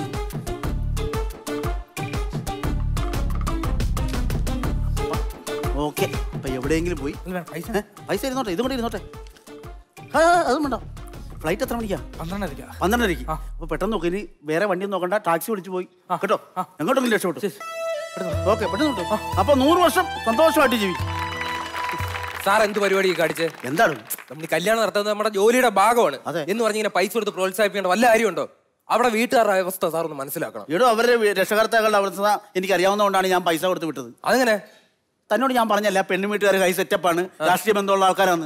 അവരെ കണ്ടു കഴിഞ്ഞാൽ കൊല്ലം നടക്കുക അതുകൊണ്ടാണ് പൈസയും കൊടുത്ത് ഞാൻ എവിടെയെങ്കിലും പോയി രക്ഷപ്പെട്ടെന്ന് പറഞ്ഞ് പറഞ്ഞു വിട്ടത്. അതിന് സാറിന് എന്താ ഇവിടെ പിന്നെ എന്റെ മകന്റെ രക്ഷ ഞാൻ നോക്കണ്ടേ? സാറിന്റെ മോനാണോ അത്? പിന്നെ അല്ലാതെ പെണ്ണ് മതി എന്ന് പറഞ്ഞ് ഒറ്റക്കാലം നിൽക്കുക അവളാണ് തിരിച്ചു. അത് കൊള്ളാം. ഒരു തന്ത ഞാൻ പിന്നെ എന്നാ ചെയ്യും? അതുകൊണ്ട് ഞാൻ കല്യാണം നടത്തി വിട്ടു. കിട്ടി സാറേ കിട്ടി. കിട്ടി. കിട്ടി സാറേ കിട്ടി. കിട്ടിയെങ്കിൽ കണക്കായി പോയി. നിനക്ക് പണ്ടേ രണ്ട് കിട്ടുന്നതാ. തല്ലി കിട്ടിയ കാര്യമല്ല പറഞ്ഞു പിന്നെ? സാറല്ലേ പറഞ്ഞു ഞങ്ങൾ അന്ന് കല്യാണത്തിന് ഉപയോഗിച്ച മാല കൊണ്ടുവന്നു എന്ന് കഴിഞ്ഞാൽ എനിക്ക് ഡൈവോഴ്സ് സെറ്റപ്പ് ആക്കി തരാന്ന് പറഞ്ഞു. അത് ഞാൻ പറഞ്ഞു ആ പറഞ്ഞല്ലേ ആ. സാധനം കൊണ്ടുവന്നിട്ടുണ്ട്? ആ മാല ഞാൻ കൊണ്ടുവന്നിട്ട് ദേ. അന്നത്തെ മാലയാണ് ഇത്? അന്നത്തെ മാല? ഇത് മാടിപ്പോയില്ലേ ഇവിടെ എന്തെങ്കിലും ആവശ്യമായിട്ട് വരുമ്പോൾ സാർ ഇത് പറയുമെന്ന് ഞാൻ മുൻകൂട്ടി കണ്ടുകൊണ്ട് ഇത് ഞാൻ ഫ്രീസർ വെച്ചേക്കുമായിരുന്നു ഒരു കാര്യം ഇതങ്ങ് പിടിച്ചിട്ട് ആ ഡൈവോഴ്സിങ് എടുക്കും. ഡൈവോഴ്സിങ് എടുക്കാൻ ഇങ്ങനെ രജിസ്റ്റർമാരുണ്ടോ? ഒരുപാടൊന്നുമില്ല. ഇതുപോലെ ഒന്നോ രണ്ടോ.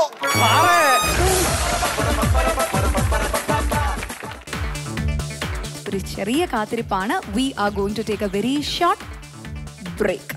രണ്ടാം സമ്മാനം കരിക്കിനെ സിൽക്ക് വില്ലാജിയോ നൽകുന്ന നാല് ലക്ഷം രൂപ. മൂന്നാം സമ്മാനം സ്വയംവര സിൽക്സ് ആറ്റിങ്ങൽ വർക്കല കൊട്ടാരക്കര നൽകുന്ന രണ്ട് ലക്ഷം രൂപ.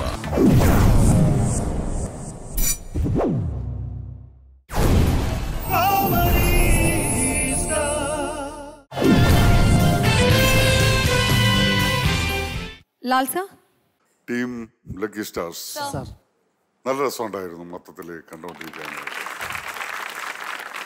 ശരിക്കും ഒരു ഓഫീസിൽ ചെന്ന പോലെയുള്ളൊരു അതിന്റെ ആംബിയൻസും അറ്റ്മോസ്ഫിയറും ഒക്കെ ഭയങ്കര രസമായിരുന്നു. എല്ലാവരുടെയും കോസ്റ്റ്യൂംസ് കാര്യങ്ങളൊക്കെ രസമായിരുന്നു. ഗെറ്റപ്പ് നല്ല രസമുണ്ടായിരുന്നു.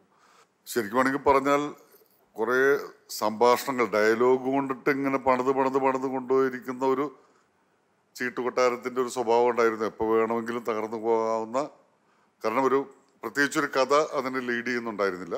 അത് കണ്ടുകൊണ്ടിരിക്കാൻ രസമായിരുന്നു. അത് സേഫായിട്ട് പോയി അവസാനിച്ചു. പിന്നെ പെർഫോമൻസിന്റെ കാര്യത്തിൽ ഏറ്റവും മുൻപിൽ നിൽക്കുന്നത് ബിൽബിന്റെ ഞാൻ ഇതിനു മുമ്പ് വന്നപ്പോഴും പെർഫോമൻസ് കണ്ടാണ്. ഗംഭീരമായിട്ടുള്ള ടൈമിങ്ങും കാര്യങ്ങളുമായിരുന്നു. ആ, ബാസിയുടെ രജിസ്ട്രാറും ഭയങ്കര ഇൻട്രസ്റ്റിംഗ് ആയിരുന്നു. എല്ലാവരും നന്നായിരുന്നു. മൊത്തത്തിൽ ഒരു രസമുള്ള സ്കിറ്റ് ജയതിഷേട്ടാ? ഈ ബിൽബിൻ ആദ്യം ഭാസിയോട് വന്ന് പറയുന്ന ആ ഏരിയ അത് നല്ല സെൻസുള്ള കോമഡി ആയിരുന്നു. അവിടെ സ്വാഭാവികതയുടെ എലിമെന്റ്സ് ആയിരുന്നു. നല്ല മികച്ച പെർഫോമൻസ് ആയിരുന്നു. അതിന് ഓരോന്നിനും വിശദീകരണം കൊടുത്ത ഐഡിയ സുധീഷ് പറഞ്ഞു കൊടുക്കുന്നുണ്ട്. ആ ഏരിയയൊക്കെ വളരെ നാച്ചുറൽ ആയിട്ടുള്ള രീതിയിൽ തന്നെ സ്റ്റോറി ലൈനും കൺവിൻസിങ് ആണ്. പിന്നെ അവിടെ സുധീഷ് പറയുന്ന അവസാനത്തെ ഐഡിയ വേണമെങ്കിൽ കാരണം വെച്ചാൽ അന്നിട്ട ഹാരം കൊണ്ടുപോവാ അത് തൽക്കാലം ഇവനെ പറഞ്ഞു വിടാനുള്ള ഒരു ഐഡിയ ഏതായാലും അത് ഹാസ്യത്തിന് വേണ്ടി അത് ഓക്കെയാണ് കാരണം ഒരിക്കലും നടക്കാൻ സാധ്യതയില്ല എന്ന് പറഞ്ഞ് പറഞ്ഞ് വിടുന്ന അതിനൊരു ലിങ്ക് കൊടുത്ത ക്ലൈമാക്സിലാണ് പിന്നെ അവസാനം വന്ന ഒരു ട്വിസ്റ്റ് എന്ന് പറഞ്ഞാൽ ഈ രജിസ്ട്രാറുടെ മകൻ തന്നെയാണ്. അയാളാണ് ഒളിപ്പിച്ച് നിർത്തിയിരിക്കുന്നത്. അരുണിന്റെ കഥാപാത്രത്തെ ഒളിപ്പിച്ച് നിർത്തിയിരിക്കുന്നു. അതുകൊണ്ട് അയാൾ കാശ് കൊടുത്ത് അയാൾ അനുഗ്രഹിച്ച് വിടുന്നു. രജിസ്ട്രാറുടെ ഒരു ദുര്യോഗമാണത്. ആ കാര്യങ്ങൾ ഒക്കെ തന്നെ ഇൻട്രസ്റ്റിംഗ് ആണ്. All the best in lucky stars Rimi? ഭയങ്കര ചിരിപ്പിക്കാൻ പാടുള്ള ഒരു കാര്യമാണ്. കാരണം ഈ രജിസ്റ്റർ ഓഫീസ് അങ്ങനത്തെ കാരണം ഇതിനകത്ത് പാട്ടോ ഡാൻസോ റൊമാൻസോ അങ്ങനെ സെറ്റ് ചേഞ്ചോ ഫ്ലാഷ് ബാക്കോ ഒന്നും ഇല്ലാണ്ട് തന്നെ ഇങ്ങനെ ഒരു സബ്ജക്റ്റ് എടുത്ത എടുക്കാൻ ധൈര്യം കാണിച്ച് ഇത്രയെങ്കിലും നമ്മളെ ചിരിപ്പിക്കാൻ ശ്രമിച്ച് നിങ്ങൾക്ക് നല്ലൊരു കൈയടി. മാസിച്ചേട്ടനെയൊക്കെ കണ്ടു കഴിഞ്ഞാണല്ലോ ഒരു രജിസ്റ്റർ ഓഫീസിൽ ഒരുപാട് വർഷമായിട്ട് അടുത്ത മാസമൊക്കെ പെൻഷൻ പറ്റാൻ ഭാഗത്തിന് ഇരിക്കുന്ന അല്ലെങ്കിൽ ഭയങ്കര എക്സ്പീരിയൻസ് ആയിട്ടുള്ള അതേ ലുക്കിൽ മേക്കപ്പ് ചെയ്ത് എടുത്ത ആരാണോ? അവർക്ക് ഗംഭീരമായ കൈയടി. ഈ സ്കിറ്റ് നമുക്ക് വർഷങ്ങളായിട്ട് ഈ ഓഫീസിലൊക്കെ ഇരുന്ന് രാവിലെ പോയി രാത്രി വന്ന് പത്തൊമ്പത് അറുപത് വയസ്സ് കാലം വരെ സർക്കാർ ഉദ്യോഗസ്ഥരായിട്ട് വർക്ക് ചെയ്യുന്ന എല്ലാ ചേട്ടന്മാരും അവരുടെ കുടുംബക്കാർക്കും വേണ്ടി ഈ സ്കിറ്റ് നമ്മൾ അങ്ങ് കൊടുക്കാം. അത്യാവശ്യം നല്ല സ്കിറ്റായിരുന്നു. Thank you super thank you thank you so much judges വിജയടാ നന്നായിരുന്നു കേട്ടോ എല്ലാവരും നല്ല ലൈഫായിരുന്നു എല്ലാവരും കളിച്ചത്. ഓഫീസിൽ നടക്കുന്ന യഥാർത്ഥ കാര്യങ്ങൾ പോലെ അത് കോമഡി വൽക്കരിച്ച് കൊണ്ടുവന്ന് നമുക്ക് നല്ല നല്ല രീതിയിൽ കൊണ്ടുവന്ന് അവസാനിപ്പിച്ച്. എനിക്ക് പിന്നെ കുറേ കൗണ്ടറുകൾ നല്ല ഉണ്ടായിരുന്നു. കാരണം ഈ ആ പഴംപൊരു സംഭവം നല്ല രസമായിരുന്നു കേട്ടോ എനിക്ക് ഭയങ്കര രസമുണ്ടായിരുന്നത് ബാക്കി ക്ലൈമാക്സ് വരെയുള്ള കാര്യങ്ങൾ നല്ല രസമുണ്ടായിരുന്നു okay all the best so ഇനി നമുക്കറിയാനുള്ളത് ഇന്നത്തെ ടീം ലക്കി സ്റ്റാർസിന്റെ ഓഫീസ് റൗണ്ടിലെ മാർക്സ് ആണ്. Okay ready Lal sir on thirty twenty eight ജയതിഷേട്ടാ thirty eight out of forty Rimi Tomy twenty eight team lucky സ്റ്റാർസിന് ഇന്നത്തെ ദിവസത്തിലെ ഈ ഒരു ആക്ടിന് അവർക്ക് കിട്ടുന്ന marks ninety four on hundred അങ്ങനെ കോമഡി സ്റ്റാർസിന്റെ ഇന്നത്തെ എപ്പിസോഡും അവസാനത്തിലേക്ക് എത്തിയിരിക്കുകയാണ്. മഴ കൊണ്ട് മരവും ബ്ലേഡ് കൊണ്ട് മുടിയും മുറിക്കാറുണ്ട്. എന്ന് പറഞ്ഞ് മഴ കൊണ്ടിട്ട് ആരും മുടി മുറിക്കാറില്ല. ഓരോ കാര്യത്തിനും അതിന്റെതായിട്ടുള്ള കർമ്മവും ധർമ്മവും ഉണ്ട് എന്നതിന്റെ തെളിവ് തന്നെയാണിത് നിങ്ങളെല്ലാവരെയും ചിരിപ്പിക്കുക എന്ന ധർമ്മവുമായിട്ട് ഈ ഒരു വേദിയിൽ ഞങ്ങൾ ഇതുപോലെ തന്നെ ഉണ്ടാകും. So till the next time we all meet this is comedy stars season two waiting up എന്നിലെ എല്ലിനായി പടച്ച പെണ്ണെ മുക്കത്തെ മണ്ണിലായി പിറന്ന പെണ്ണെ. അപ്പൊ ഇദ്ദേഹത്തിന്റെ അച്ഛൻ ഒരു ക്രിക്കറ്റ് ആരാധകനായിരുന്നു. അതുകൊണ്ട് ഇദ്ദേഹത്തിന് സച്ചിൻ ബേബി എന്ന് പേരിട്ടു. അതിനേക്കാളും കടുത്ത ആരാധകനായിരുന്നു എന്റെ അച്ഛൻ. അപ്പൊ പുള്ളി എനിക്ക് പേരിട്ടു സച്ചിൻ കുട്ടൻ. അയ്യേ സച്ചിൻ കുട്ടൻ എന്നൊക്കെ ആരെങ്കിലും പേര് നിങ്ങളുടെ പേരെന്താ? ബിജുകുട്ടൻ സത്യം പറയണ എനിക്ക് ഈ പൊങ്ങച്ചത്തിലൊന്നും ഒരു താല്പര്യവും ഒരു സെക്കൻഡ് എന്റെ എഴുപത്തി അയ്യായിരം രൂപയുടെ ഫോണിൽ ഒരു കോൾ വരുന്നുണ്ട്. ഒരു സെക്കൻഡ് ഹലോ എടാ വിത്ത് വന്നിട്ട് നിന്റെ പേര് പറയണമെങ്കിൽ കാളയെന്നല്ലേ പറയുന്നത് നമ്മൾ വയസ്സായതിന്റെ നമുക്ക് ഇനി ഫോട്ടോ എന്ന് എടുക്കണ്ട. നിങ്ങൾ എടുക്കും ഞാൻ ഈ സൈഡിൽ എങ്കിലും മാറി നിന്നോളാം. നിങ്ങൾ എടുത്തോളി അമ്മയ്ക്ക് അതിന്റെ ഒന്നും വലിയ താല്പര്യമൊന്നുമില്ല. നിങ്ങൾ അങ്ങ് എടുക്കും. അമ്മ ഞാൻ സൈഡിൽ. ചാന്തുപട്ടിലെ ദിലീപ് നൂറ്റമ്പത് കിലോ ഉള്ള ഗോപികെ ഒന്ന് എഴുതാക്കോ അവക്ക് ഇടി പേടിയാ. പക്ഷെ അവളെ ഈ ഭർത്താവുണ്ടല്ലേ അവൻ ഇടി നല്ല വാക്കാ വെച്ചിടിച്ചു തരും And this is the last ball of the over from Sachin. Yeah. That's a hit. Yeah, he's out. Get out, get out. Oh, yeah, he's out. Yes, sir. Come. Please, please, please, please.